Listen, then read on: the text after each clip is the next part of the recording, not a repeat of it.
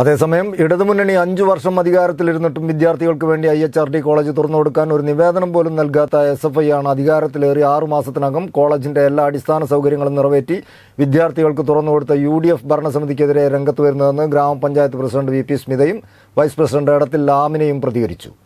മഴ കുറഞ്ഞാൽ റോഡ് പ്രവൃത്തി ഉടൻ ആരംഭിക്കുമെന്നും ഇവർ വ്യക്തമാക്കി.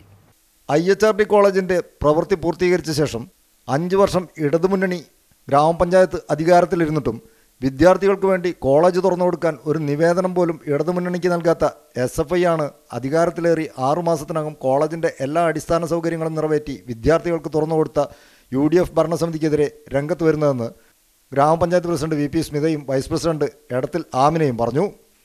മുൻ എം എൽ എ സി മോയിൻകുട്ടിയുടെ ആസ്തി വികസന ഫണ്ടിൽ നിന്നും അനുവദിച്ച രണ്ടര കോടി രൂപ ചെലവഴിച്ച് കാരശ്ശേരി പഞ്ചായത്തിലെ തോട്ടക്കാട് പുതുപ്പറമ്പിൽ സ്വകാര്യ വ്യക്തി നൽകിയ ഒരേക്കർ ഇരുപത് സെന്റ് സ്ഥലത്ത് നിർമ്മിച്ച കെട്ടിടം അഞ്ച് വർഷക്കാലം കാരശ്ശേരി പഞ്ചായത്ത് ഭരിച്ച ഇടതുമുന്നണി ചെറിയ ന്യൂനതകൾ ചൂണ്ടിക്കാട്ടി വിദ്യാർത്ഥികൾക്ക് തുറന്നു കൊടുക്കുന്നതിന് തടസ്സമായി നിൽക്കുകയായിരുന്നെന്നും ഇവർ ആരോപിച്ചു.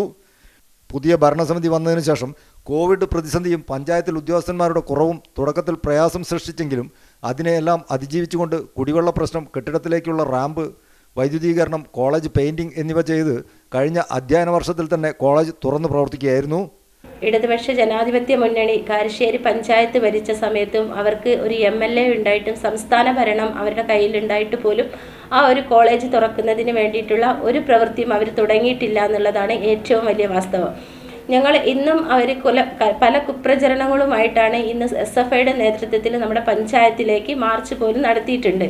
നമുക്കറിയാം അതൊക്കെ സാധാ കാരശ്ശേരിയിലെ ജനങ്ങൾക്കും മറ്റുള്ളവർക്ക് എല്ലാവർക്കും അറിയുന്നതാണ്. കാരണം ഈ യു ഡി എഫ് ഭരണസമിതി വന്നതിന് ശേഷമാണ് നമുക്ക് ആ കോളേജ് തുറക്കാനുള്ള എല്ലാ പിന്നെ പ്രാരംഭ പണികളും നമ്മൾ തുടങ്ങി വെച്ചത്. കോളേജിലേക്കുള്ള റോഡിന്റെ തടസ്സങ്ങൾ തീർക്കുന്നതിന് പഞ്ചായത്ത് പ്രസിഡന്റിന്റെയും കോളേജ് പ്രിൻസിപ്പലിന്റെയും പി ടി ഐയുടെയും നേതൃത്വത്തിൽ റോഡിനു വേണ്ടി രണ്ടര സെന്റ് സ്ഥലം വാങ്ങിക്കുകയും സ്ഥലത്തെ വലിയ പാറകൾ പൊട്ടിച്ച് ഗതാഗത യോഗ്യമാക്കുകയും ചെയ്തിരുന്നു. റോഡ് കോൺക്രീറ്റ് ചെയ്യുന്നതിന് വേണ്ടി റോഡിന്റെ ടെൻഡർ നടപടികൾ രണ്ടായിരത്തി ഇരുപത്തിരണ്ട് ജനുവരി ആറാം മാസം പൂർത്തിയാവുകയും അതിന്റെ ആദ്യഘട്ടമെന്നോണം സോളിംഗ് നടപടികൾ ആരംഭിച്ചപ്പോൾ ആസ്തിയിലില്ലാത്ത റോഡ് പ്രവൃത്തി നടക്കാൻ പാടില്ല എന്ന് പറഞ്ഞുകൊണ്ട് പഞ്ചായത്തിൽ പരാതി നൽകുകയും ചെയ്തതിന്റെ അടിസ്ഥാനത്തിലാണ് റോഡ് പ്രവൃത്തി നിർത്തിവെക്കേണ്ടി വന്നത്.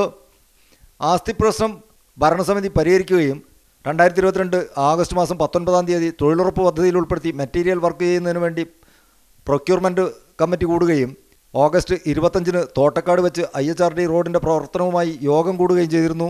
ഇതിന്റെ ഭാഗമായി ഓഗസ്റ്റ് ഇരുപത്തേഴാം തീയതി മെറ്റീരിയൽ സപ്ലൈ ഏറ്റെടുത്ത വെണ്ടർക്ക് മെറ്റീരിയൽ വിതരണം ചെയ്യുന്നതിന് അനുമതി നൽകുകയും ചെയ്തിരുന്നു.